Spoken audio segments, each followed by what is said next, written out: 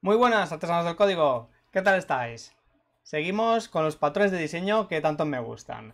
Pero hoy no vamos a ver un patrón cualquiera, hoy vamos a ver un patrón de arquitectura. Esto ya no son los patronitos que hemos estado viendo. Ya es un patrón de arquitectura que va a tener unas implicaciones más grandes. De hecho, va a condicionar nuestro proyecto, va a condicionar la estructura de nuestro proyecto, ya que es un, patrón de arquitectura. Lo que vamos a ver hoy es el patrón MVVM, que es una variante del patrón MVC.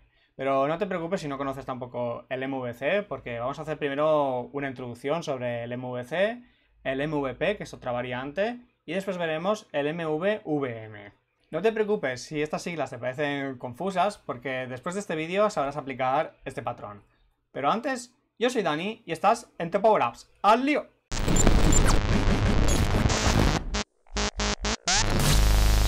Muy bien, vamos primero con el patrón de arquitectura MVC.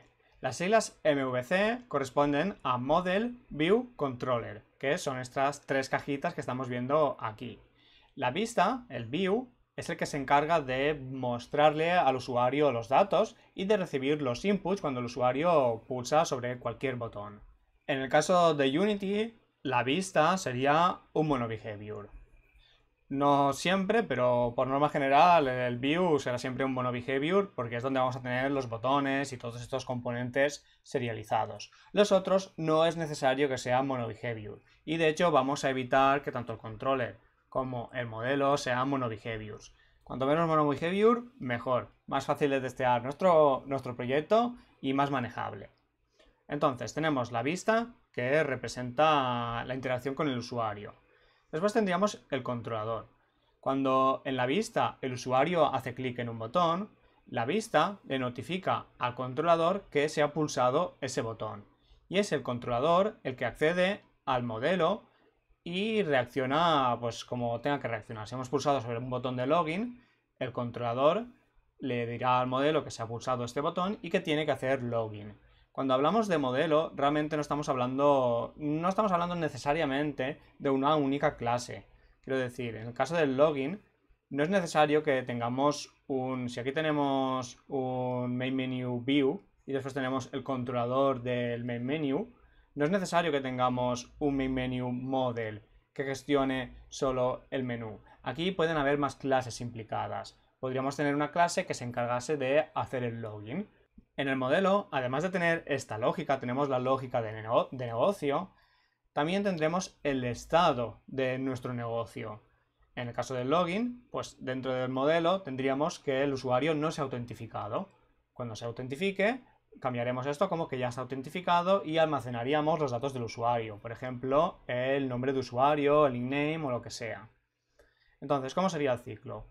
El usuario hace clic en la vista, la vista avisa al controlador de que se ha pulsado el botón de login, el, controlador avisa al modelo de que tiene que hacer login, el modelo eh, hace esta petición al servidor, hace login y le devuelve al controlador que ha sido actualizado, que ya, ya hemos hecho login. Entonces el controlador actualiza el modelo en consecuencia y le notifica a la vista que tiene que cambiar esos datos, que esos datos ya están obsoletos y es la vista quien accede al modelo para obtener los datos. Como veis tenemos aquí un ciclo mm, virtuoso, por decirlo de alguna forma. Todos se acaban conociendo de alguna forma. Sí que es verdad que aquí vemos que el modelo está aislado. Es la vista y el controlador quienes conocen al modelo. Si el modelo se tiene que comunicar con el controlador para devolver datos, o bien lo hace con un return, o bien lo haremos con un evento. Aquí, por ejemplo, podríamos aplicar el patrón observer, que ya hemos visto, y te voy a dejar el vídeo por aquí arriba. ¿Qué pegas le veo yo a este patrón?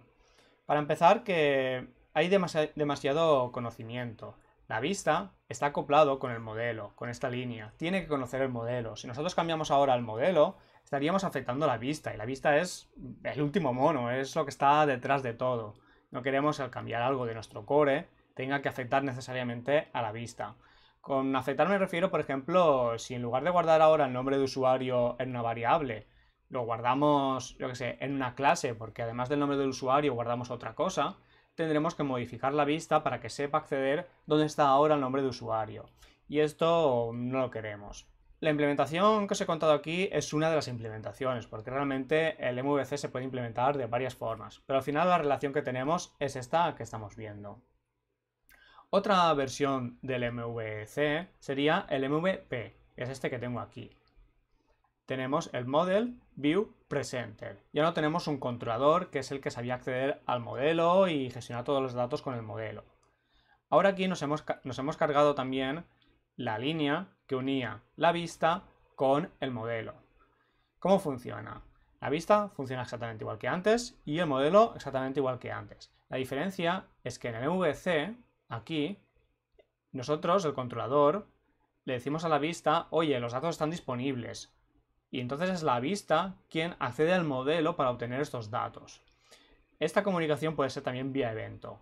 Pero bueno, es la vista quien tiene la responsabilidad de obtener los datos de buena forma y pintarse. Es la vista quien sabe pintarse a sí misma. Sin embargo, en el MVP es el presenter el que sabe cómo pintar a la vista. La vista no sabe pintarse a sí misma. Tenemos el mismo flujo, del usuario hace clic en el botón de login. Esto, la vista avisa al presenter, el, presenter al modelo, el modelo obtiene los datos, se los devuelve al presenter y el presenter coge estos datos y los formatea para asignárselos a la vista.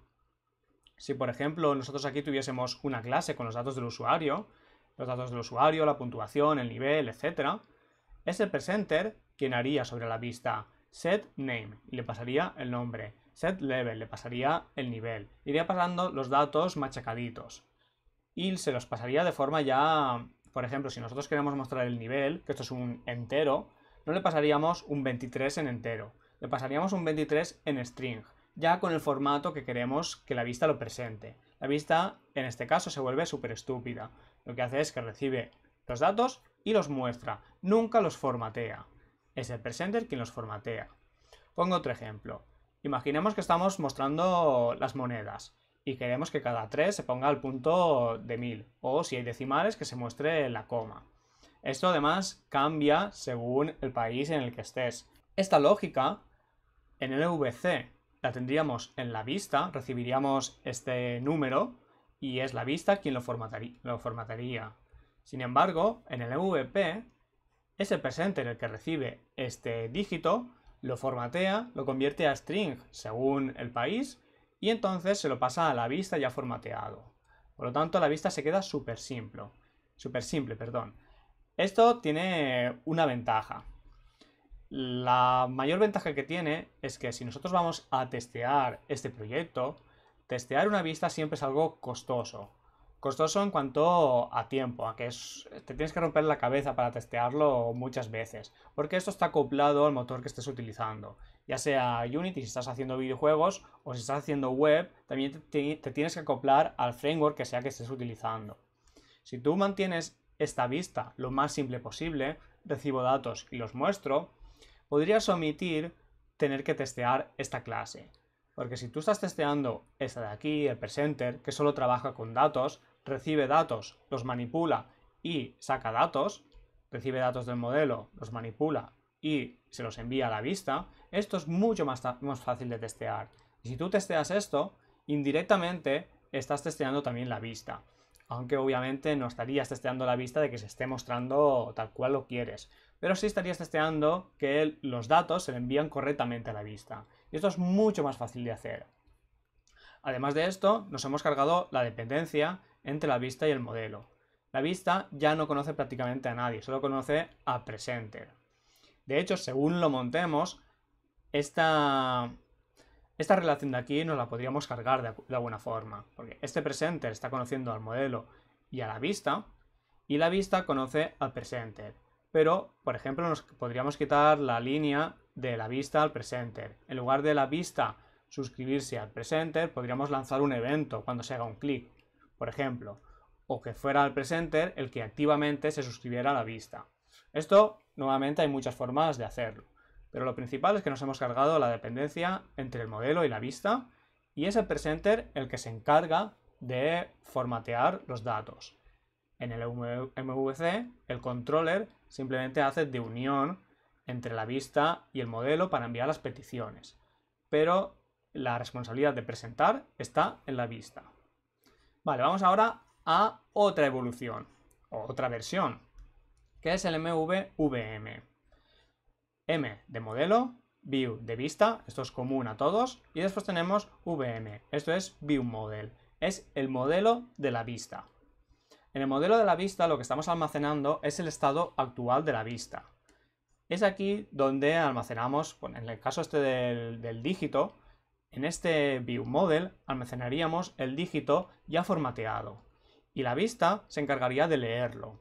Además, el MVVM se suele hacer reactivo se hace con, por ejemplo, con el patrón observer que os comentaba antes. Lo que hacemos es que la vista se suscribe al viewModel y entonces cuando lo modificamos, de forma reactiva, la vista ya recibe este dato y simplemente lo muestra. Es un poco como el MVP, solo que aquí ya hemos convertido, lo hemos hecho reactivo.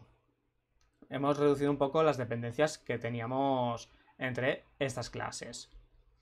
Y en el ViewModel almacenamos el estado de la vista, pero bien machacadito, con strings ya tal cual os tenga que mostrar la vista. Nada de enteros que después la vista tendrá que convertir. Aquí todo machacadito. Esto también hay varias formas de implementarlo. La que a mí me gusta implementar es esta versión de aquí, que es un poco combinándolas todas. Por un lado tendríamos la vista. La vista cuando se hace clic le avisa al ViewModel, oye, se ha hecho clic en este botón de login. Las líneas transparentes son eventos. Entonces, el ViewModel, de forma reactiva, avisaría al controller. Esto quiere decir que el controller está suscrito al evento del ViewModel de se ha pulsado el login. El controller recibe este dato y con esto llama al modelo y hace login. El modelo, cuando ha terminado de hacer login, en lugar de devolver el dato al controller, lo que hace es lanzar un evento. Oye, ya he terminado con el login. Aquí están los datos de resultado. Y hay alguien escuchando, que es el presenter, el que recibe estos datos. Pero estos datos los recibe, podemos decir, en, crudo. Recibe toda la información. Y es el presenter el que se encarga de machacar esta información, hacerla bien facilita y guardarla en el view model. Guardarla en el view model como es un modelo reactivo, la vista, mediante esta flecha que vemos aquí discontinua, se enterará de que ese dato ha cambiado y entonces lo tiene que reflejar. Como veis, es un poquito más complejo, pero nos permite desacoplarlo muchísimo más y que todo sea más independiente. Al tener un presenter por un lado y un controller por otro, en el presenter tenemos solo la responsabilidad de recibir los datos del modelo y formatearlos para guardarlos en el view model. Y en el controller es a la inversa. Recibimos los eventos que vienen del view model, que es porque el usuario ha interactuado con la vista, y se los transmitimos al modelo.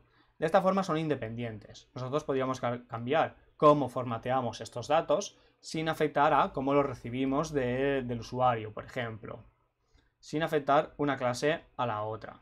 Y después el ViewModel más de lo mismo. Aquí tenemos los datos planos. Este muy pocas veces se va a ver afectado cuando cambiemos el controlador o el presenter. Y la vista lo mismo. La vista solo conoce al ViewModel, por lo tanto solo se suscribe a propiedades que cambian o a lanzar eventos. Cuando se hace clic, lanza un evento sobre el ViewModel. Esto es con el Observer. Vale, vamos a verlos ahora todos en conjunto y a ver por qué le he puesto estos colores. No he puesto estos colores de forma random. Voy a quitar un poquito de zoom. A ver si conseguimos verlo todo. Aquí. Vale, aquí tenemos el MVC, MVP, MVVM y este es el MVVM desglosado, el que yo implemento y el que vamos a ver en, este vídeo. Y aquí tenemos la Clean Architecture, que ya os he hablado bastante de ella. Si no conoces la Clean Architecture, por aquí arriba te dejo un vídeo donde explico qué es esta arquitectura y por qué deberías utilizarla. Yo la recomiendo muchísimo. Vale, la Clean Architecture lo que tenemos es que está compuesta por capas y van desde fuera hacia adentro. Las capas de fuera conocen a las de dentro, pero las de dentro no conocen a las de fuera. Son estas líneas que estamos viendo aquí representadas. La capa más externa sería la capa de la vista. Aquí la llama Frameworks and Drivers. Pero aquí tendríamos también la UI. Esto sería la vista. Y son todas estas cajitas azules. Un poquito más hacia adentro tenemos la capa de Interface Adapters, que tenemos por un lado gateways, que eso sería para acceder a bases de datos, por ejemplo, o a recursos. Tendríamos los presenters, que se encargan de formatear los datos para la vista, y los controllers, que reciben los datos desde la vista. En el caso del MVVM, esto encajaba perfecto. En los otros, bueno, también tenemos la representación, ya sea del controlador o del presenter, o el view model, que también estaría aquí dentro. Y ya lo que es el modelo sería la capa del dominio. En caso de la Clean Architecture, esto se divide en dos subcapas, la capa de aplicación y la capa de empresa. Pero tanto la roja como la amarilla la podemos considerar como la capa del dominio. Es el centro de, de todo, de nuestra aplicación, de nuestro juego o de lo que sea. Es el core. Y queremos que se mantenga lo más inmutable posible. Por eso vemos que las flechitas van entrando, pero no salen. Cuando desde el dominio tenemos que avisar, por ejemplo aquí al presenter, lo hacemos con eventos. Y de esta forma, que sería este flujo que vemos aquí, a ver si le puedo hacer un poco de zoom, sería este flujo que vemos aquí. Lo haríamos ya sería con interfaces o con eventos. Esto lo, lo explico en el vídeo de Clean Architecture que te he dejado por aquí arriba. En definitiva, y ya para ponerlo, para finiquitar esto y ponernos ya a aplicar. Tenemos le quito un poquito de zoom. Tenemos la vista en la capa más externa. El usuario hace clic sobre este botón y nosotros avisamos al View Model que estaría en la capa de dentro mediante esta flecha. El View Model reacciona y es el controller el que estaba suscrito a ese evento. El controller le ha dicho al View Model, oye, cuando se pulse un botón, avísame. El controller recibe este, este dato y avisa al modelo. Con esta flecha avisa en este caso a use case. Avisa al use case de, oye, haz login. Y cuando hagas login yo no quiero saber nada. Como veis, el controller no recibe nada del modelo. Yo te aviso. Tú haz lo que tengas que hacer y después no quiero saber nada. Este es el controller. Sin embargo, el presenter dice, oye, cuando hagas login, avísame porque yo tengo que avisar a la vista para que se pinte. Pero no me puedes avisar directamente, porque las flechas van hacia adentro, no van hacia afuera. ¿Cómo me avisas? Pues con un evento. En lugar de tú avisarme a mí, lo que hago es yo suscribirme al evento que sé que tú lanzarás, el evento de usuario conectado. Y cuando este evento se lance, entonces el presenter recibe la información, la formatea y se la pasa al view model. Y el view model, nuevamente con un evento, se la pasará a la vista. En este caso, en lugar de ser un evento global, lo vamos a hacer con un observer. Ya veréis la diferencia cuando lo vayamos implementando. Lo hago así porque si no, la vista podría lanzar un evento global, perdón, el modelo podría lanzar un evento global y la vista suscribirse. Se estaría saltando dos capas. Y esto no lo queremos, queremos que vaya solo a la capa inmediatamente eh, más profunda, pero no dos capas hacia adentro. Esto es la regla de la dependencia. Y de esto también tenemos un vídeo. Vale, vamos a ver ahora el código. Tengo aquí una pequeña interfaz, súper simple. Ya sabéis que a mí me gusta hacer las cosas simples. Tenemos por aquí el main menu. El main menu es simplemente este botón de aquí. Bueno, es un canvas que contiene el botón. Y le he puesto un script que se llama main menu view, con el botón serializado. Ahora lo veremos, pero este script está de momento vacío.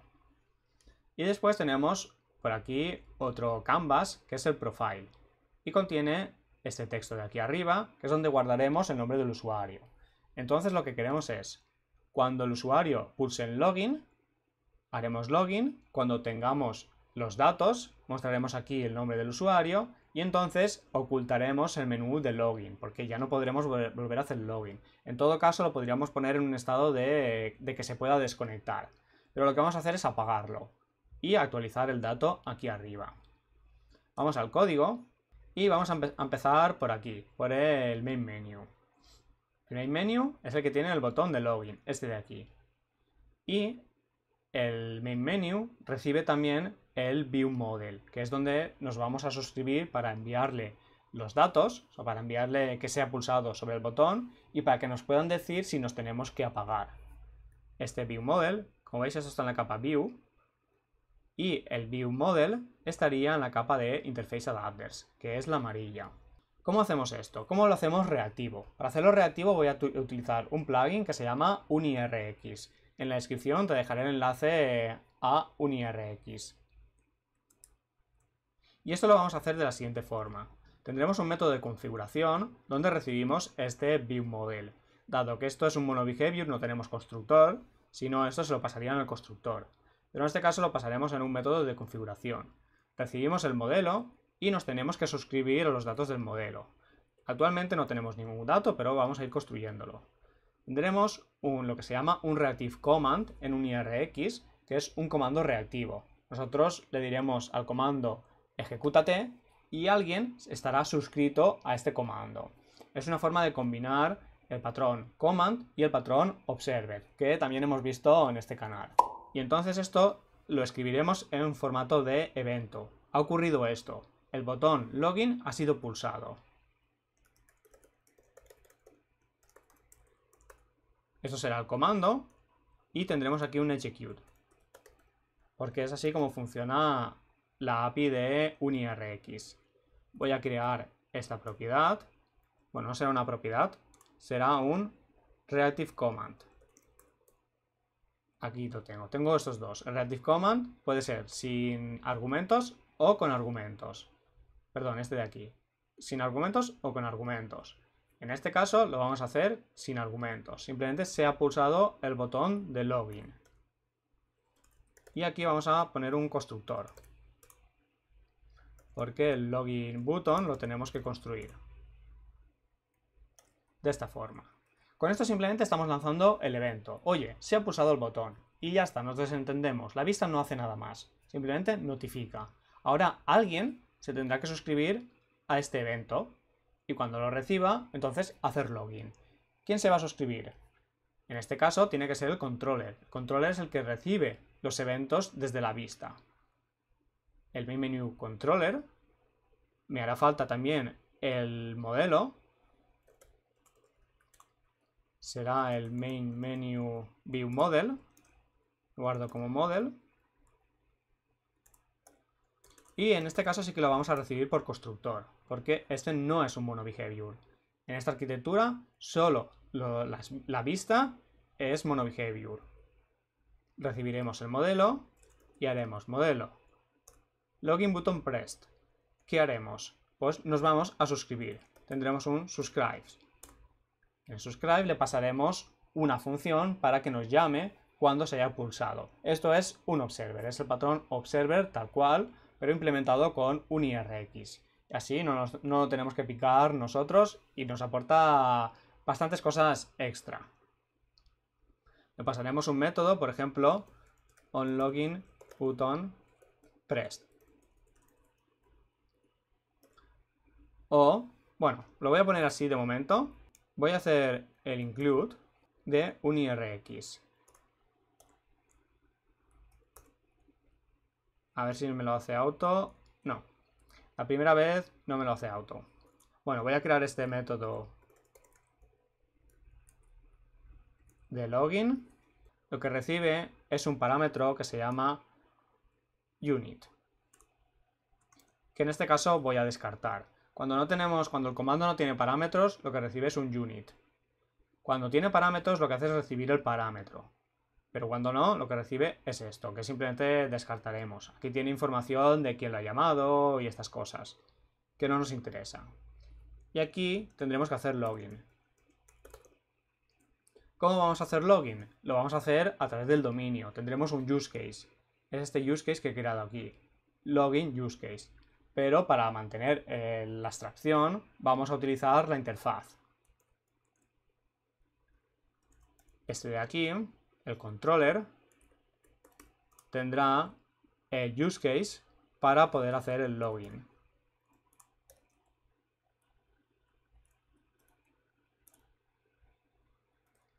Y aquí simplemente le diremos que haga login. Y ya está. Eso es todo lo que tiene que hacer el controlador. Suscribirse a los eventos de la vista y pasárselos al dominio el controlador tiene que saber a quién se los tiene que pasar. En este caso sabe que con este botón tiene que hacer login. Si tuviese el de desconectar, pues sabría que tiene que avisar al de desconectarse. Y así con cualquier acción. Y esto de aquí lo vamos a recibir desde el constructor también.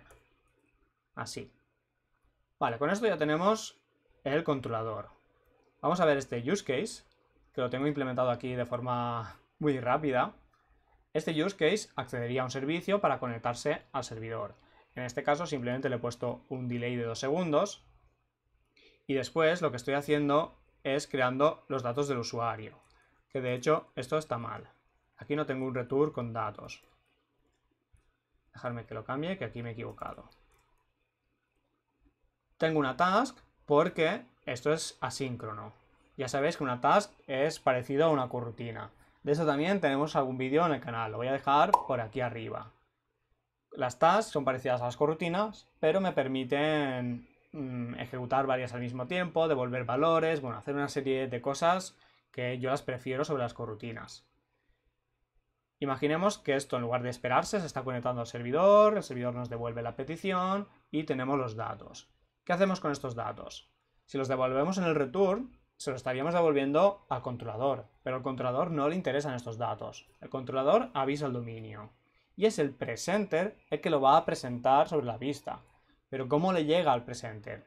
Podríamos tener aquí este presenter, pero entonces estaríamos rompiendo la regla de la dependencia. Las flechas entran en lugar de salir. Si vamos aquí, vemos que el use case no se conecta con el presenter. Si lo conectamos, estaremos rompiendo esta regla de la dependencia, que las flechas entran.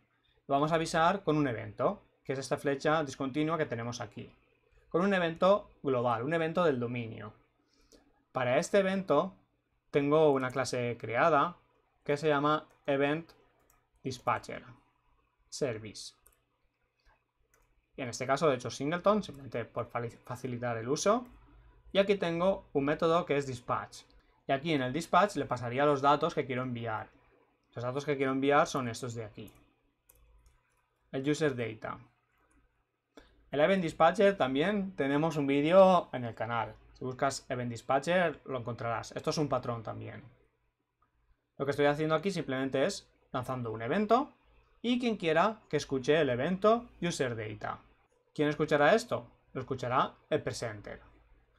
El presenter va, a necesitar también el modelo, mi menú view model,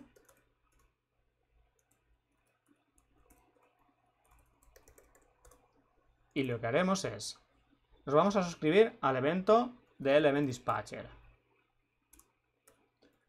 Cogemos la instancia y nos suscribimos. ¿A qué nos vamos a suscribir? Al User Data. Y tendremos una función que será on. Cuando se hayan actualizado los datos del usuario, entonces se llamará a este evento. Esto lo está lanzando ahora mismo en el login, pero imaginemos que el usuario puede cambiar el nombre. Cuando cambie el nombre, lanzaremos también un evento de datos del usuario actualizados, y este presenter lo recibirá también. Aquí tendremos, este user data tiene el nombre del usuario. Tenemos el data.name. Y esto lo tenemos que almacenar en el modelo, en el view model, para que la vista se entere. Para esto, en el modelo, vamos a crear una propiedad que es username. Y aquí tendremos un value y lo guardaremos. Esto es por cómo funciona un IRX. Voy a crearlo y ahora volvemos aquí. Esto es una reactive property. Una propiedad reactiva. Una propiedad que implementa un observer, que nos podemos suscribir a sus cambios. Lo pongo aquí arriba también. Y la construimos. De tipo, esto da igual, si lo construimos de tipo string o de tipo reactivo con el template de string. A mí me gusta ponerle la específica, pero aquí sí que lo declaro de forma genérica, con, con el template. Pero vamos, esto no tiene más importancia. Simplemente lo construimos y aquí accedemos a su valor y lo cambiamos. Y con esto ya está, el presenter no hace nada más. Coge los datos y los formatea. Si tuviese dígitos, los transformaríamos en string y los guardaríamos en propiedades reactivas. en estas propiedades. De hecho, estoy pensando que aquí me he equivocado. Esto no tiene que ir en el user, en el modelo del main menu. Tiene que ir en el modelo del, del profile. Este de aquí. Porque los vamos a diferenciar. Y así vemos también comunicación entre distintos view models. Dejarme que me lleve esto al profile.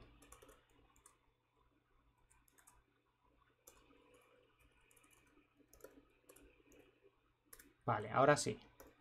Tenemos aquí profile. Y este presenter va a recibir dos modelos. El del main menu y el del profile. Lo podríamos hacer en dos presenters distintos también. Bueno, de hecho, si queréis, lo hacemos en dos presenters distintos y así lo vemos. O sea, yo puedo tener un presenter que gestione dos modelos y entonces sobre el profile guarde los datos del usuario, que es lo que vamos a hacer, y sobre el main menu que le diga que se apague. O en lugar de esto, puedo tener, como lo estoy haciendo con eventos, puedo tener un presenter, que sea el del profile, que solo actualice los datos del usuario. Creo que esto sería más correcto. Me vas a permitir que copie esto de aquí. Private read only, profile view model, model, y nos suscribimos a este evento. Y esto me lo copio. Aquí. El profile presenter recibe los datos del usuario y los actualiza fin y el menu presenter en lugar de actualizar estos datos lo que hace es decirle si es visible o no y visible value igual a false porque acabamos de hacer login y le voy a decir que ya no sea visible. Seguramente estés pensando que, que hayan cambiado los datos no implica necesariamente que haya hecho login, porque los podría cambiar después el usuario. Podríamos lanzar dos eventos. Podríamos lanzar un evento de se ha hecho login y lanzar otro, otro evento de datos del usuario actualizados. Esto ya cada uno que lo haga como prefiera.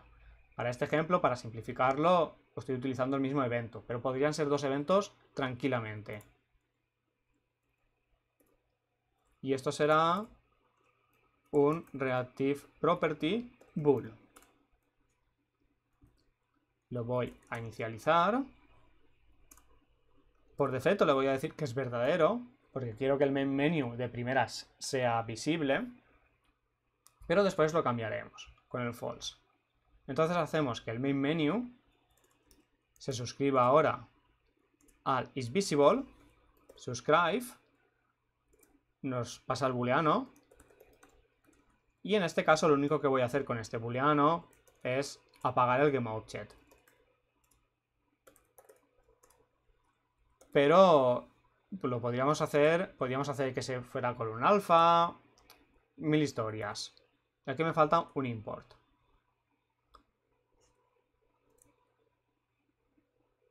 Cuando sea visible me suscribo y lo que hago es hacerme visible. Y esto de aquí lo hemos hecho, me he equivocado. Esto no va, es, el execute no va aquí. El execute va cuando se pulse sobre el login. Aquí lo que vamos a hacer es, en el botón login, on click, add listener, y aquí ponemos la función lambda. La función lambda es que ejecute esto de aquí. Dejarme que lo formatee así un poquito. Y es más legible el botón, cuando haga clic, añado un listener que tiene que hacer esto de aquí. Esto es una forma de hacerlo. Otra forma de hacerlo es convertirlo en un observer. On click apps observable. Me va a avisar y aquí me podría suscribir y entonces hacer esto también. Esto me lo proporciona un IRX. Así. De esta forma lo convierto en un observable. Es exactamente lo mismo.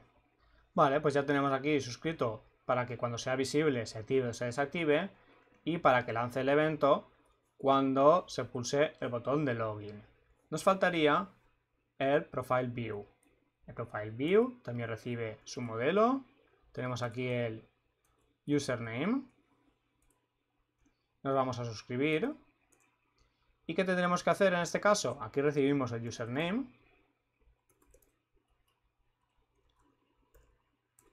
Y cogemos username.setText y le pondremos el texto del username. Nos hace falta el import de unirx para que esto funcione. Si no, aquí eso no entiende que es un string.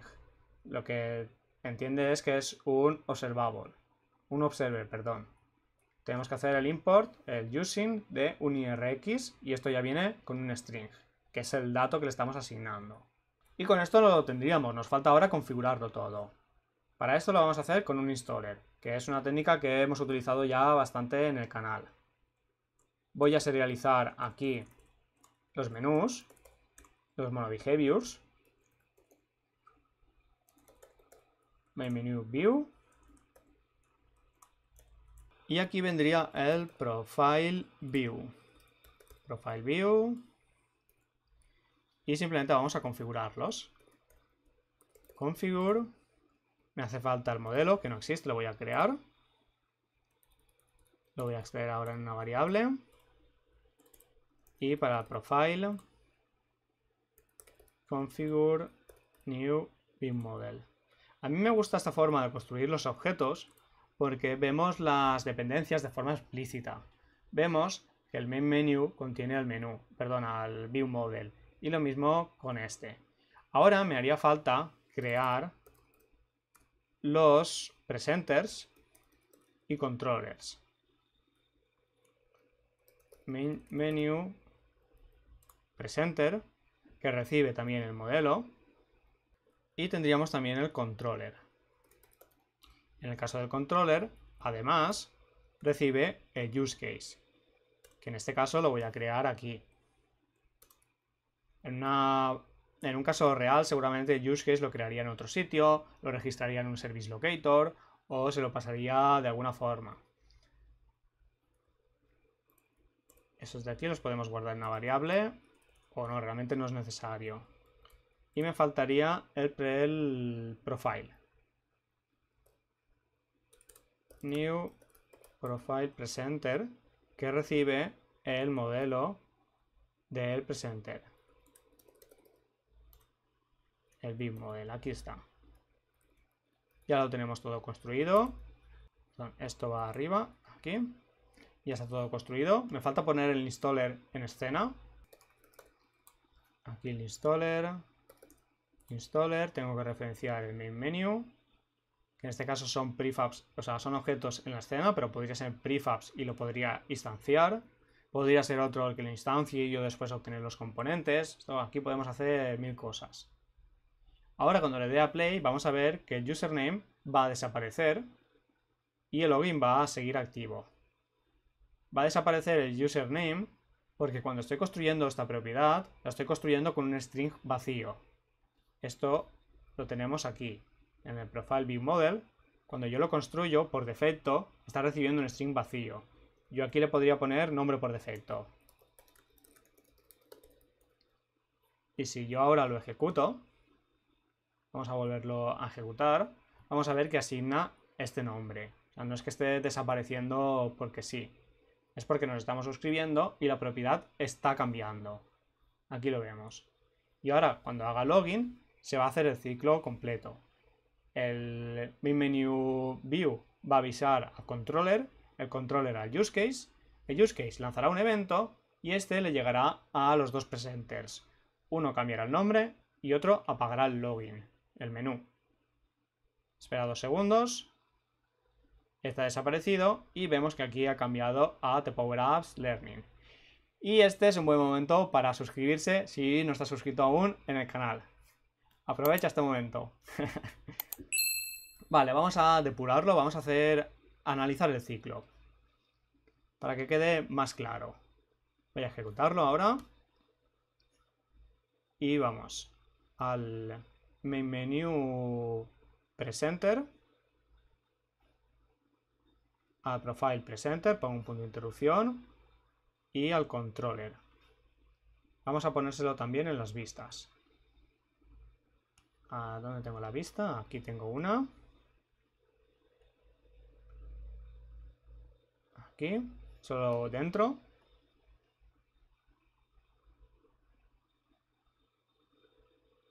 Aquí. Y aquí. Vale, lo tachamos. Y vamos a ejecutarlo. Yo ahora hago clic en login. Y esto, el botón de login se está disparando. Y vamos a ejecutar el comando de que se ha pulsado. A ver quién está suscrito aquí.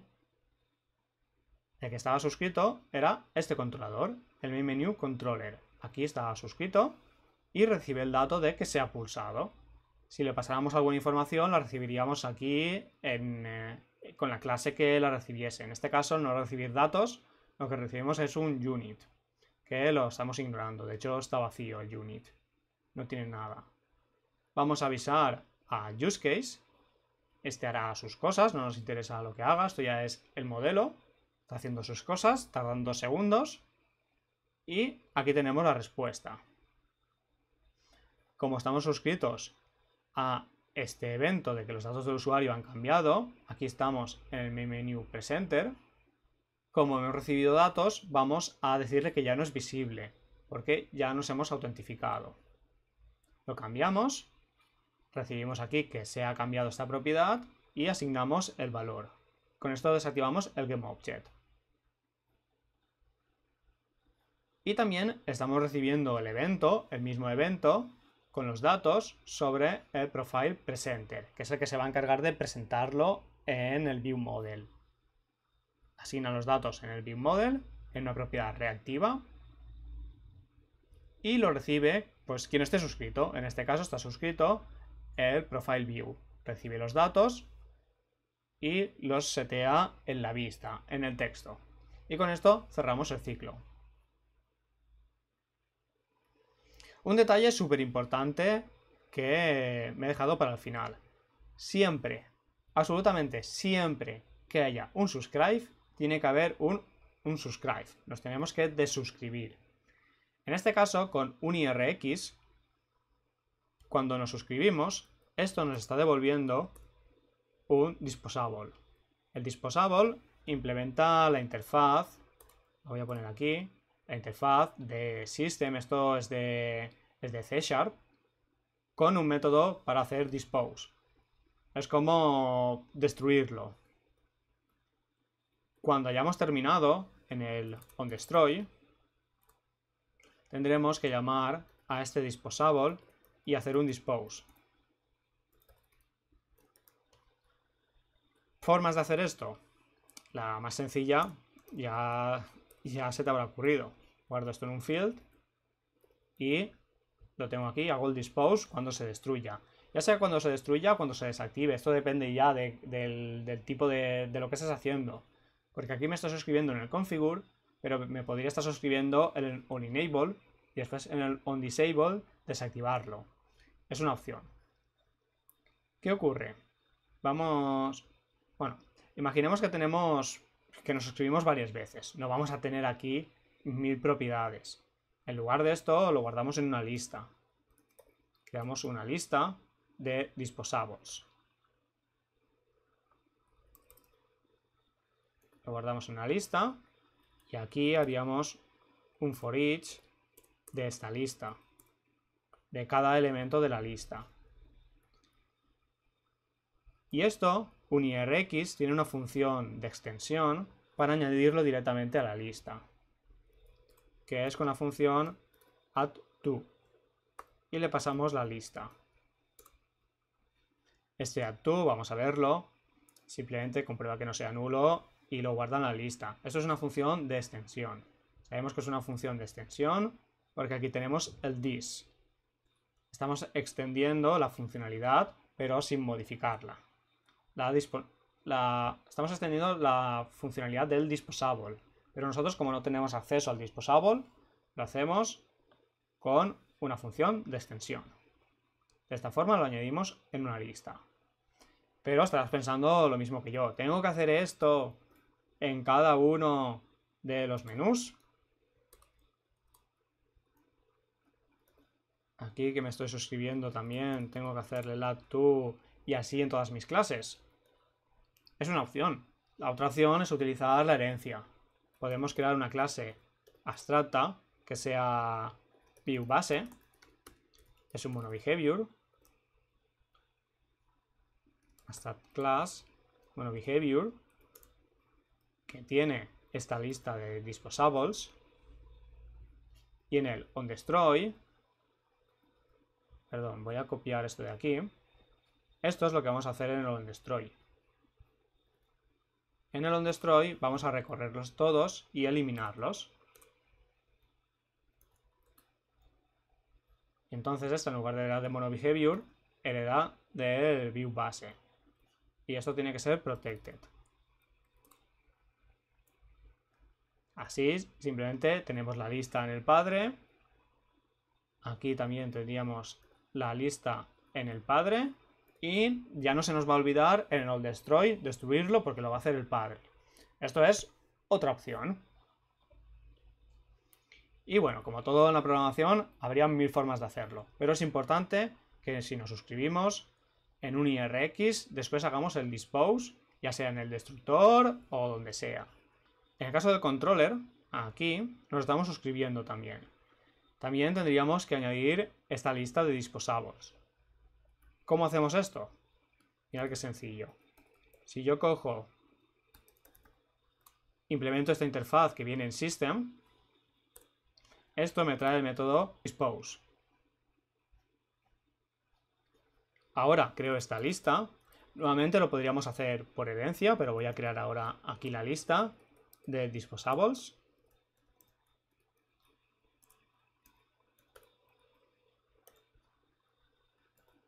Y al suscribirnos vamos a hacer el add to. Lo añadimos. Y en el dispose funciona de destructor.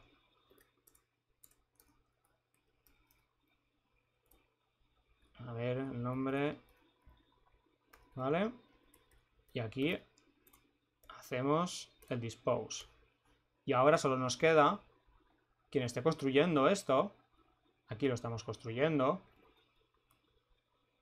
Esto igual que es un main menu, como tenemos la interfaz, también es un disposable. Cogemos en el installer, tenemos una lista de disposables y hacemos un add. Así. Ya lo tenemos aquí. Lo haríamos con todos. Y en el onDestroy recorreríamos para destruirlos. Así. Y me falta una última cosa. La última ya. No sobre este, sino sobre el presenter. En el presenter nos estamos suscribiendo a un evento global. También es importante de suscribirse. Y lo vamos a hacer de la misma forma. Implementamos esta interfaz. Y en el dispose hacemos el unsubscribe. Tenemos el unsubscribe y el constructor, el que esté construyendo esto, simplemente que lo añada a la lista de disposables y en onDestroy los va a llamar a todos. Y ya está. Esto es súper importante. Siempre que nos suscribamos, nos tenemos que desuscribir. Igual que cuando nos suscribimos a un delegado, que hacemos el más igual para suscribirnos a un delegado o a una acción. Esto es exactamente igual. Siempre que nos suscribamos, nos tenemos que desuscribir. Porque si no, lo que va a pasar después es que si yo elimino Imaginemos que cambiamos de escena. Aunque cambiemos de escena, estas clases no se van a destruir, porque tienen dependencias entre ellas. El Garbage Collector no las va a recoger, porque están suscritas. Las tendremos que desuscribir para que si después en cualquier sitio se actualiza los datos del usuario, que no se intente llamar al main menu para actualizar los datos, porque este main menu ya no estará visible, ya no estará, no visible, sino que estará destruido el objeto. Porque si no, lo que vamos a tener es una explosión. No va a funcionar.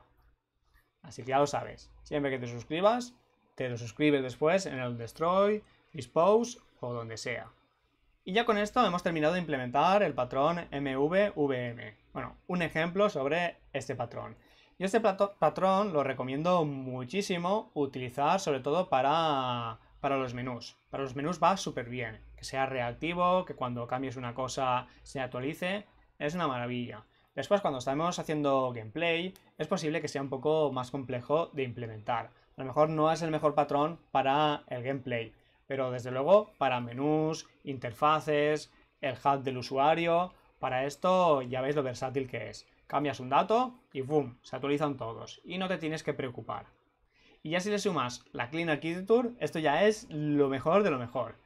Para mí la mejor arquitectura que puedes tener es la Clean Architecture combinada con el MVVM.